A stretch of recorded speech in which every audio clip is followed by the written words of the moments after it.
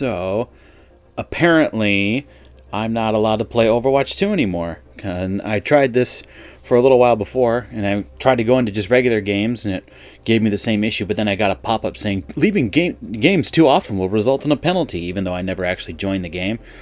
So I tried to load into just the practice range, and I get this. It just sits it, applying update, applying update. It just kind of sits here for a little while.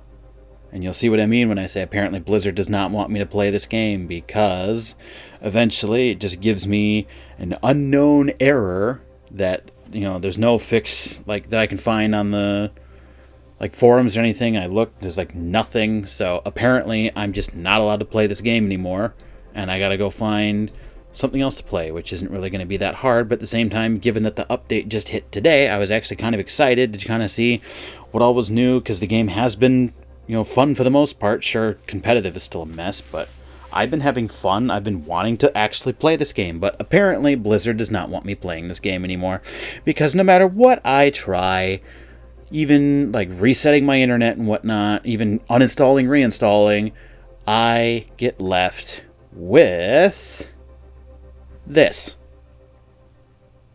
Apparently, I need to go play something else now. Screw this.